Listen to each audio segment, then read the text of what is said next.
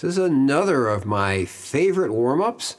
Um, I call it the four chord warm up because we're playing three note chords. Each phrase is a chord. It uses three pitches, and it's a great way to warm up not just your fingers, but also your ear if you're going to be modulating, if you're going to be changing chords. Now, I'm mostly using the uh, primary scale. Uh, there's one alternate note that we move into what's called mode 4. There's an entire flute cast out there on mode 4.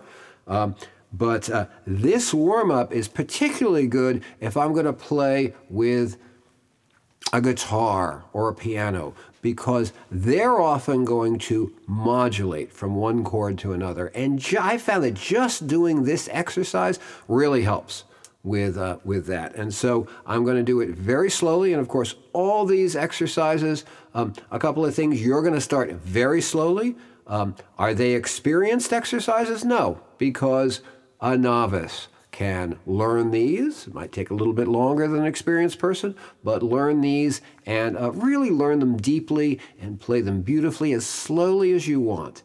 So I'm going to go through it very, very slowly at first. And of course, um, both of the exercises we did last month, we did the skipping down the scales exercise, and uh, this month is the four chord exercise. Both of these are up on uh, the link that we're going to put up on Flutopedia, and you can download the finger diagrams to show you how to do it, but we're going to do it here very slowly.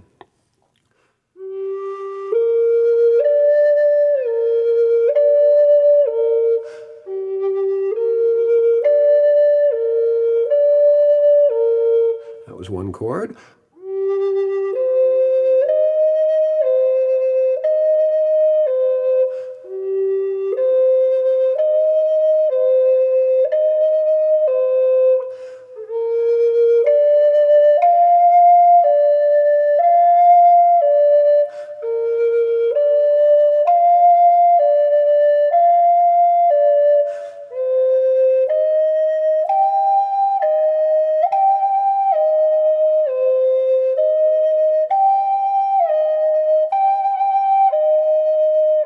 Then I'm going to come back down the scale.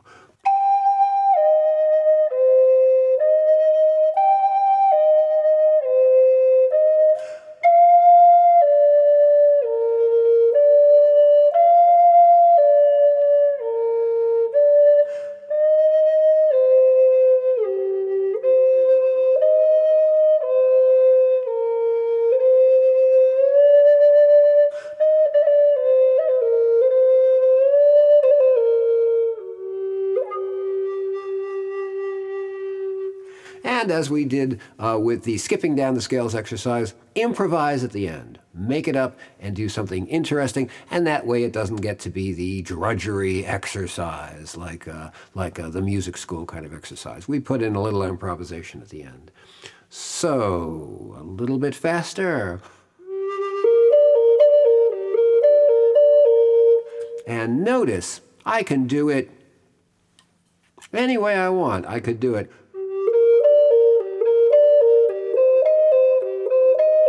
or I can do it like this.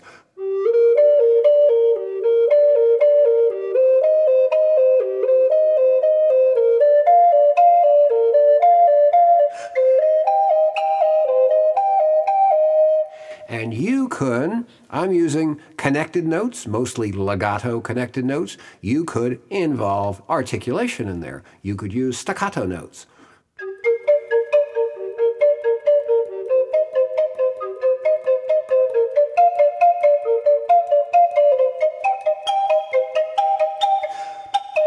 Double tonguing.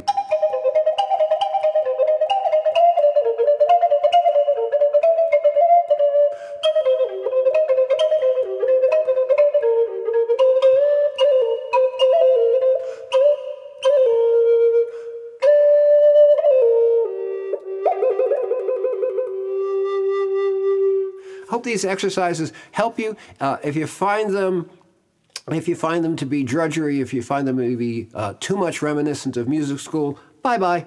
don't worry about them. Just go back to playing your flute. But if you do them just a little bit before you play, for me, it makes a world of difference. My fingers aren't so fumbly, fat finger fumbly syndrome before I play. So enjoy them. Bye now.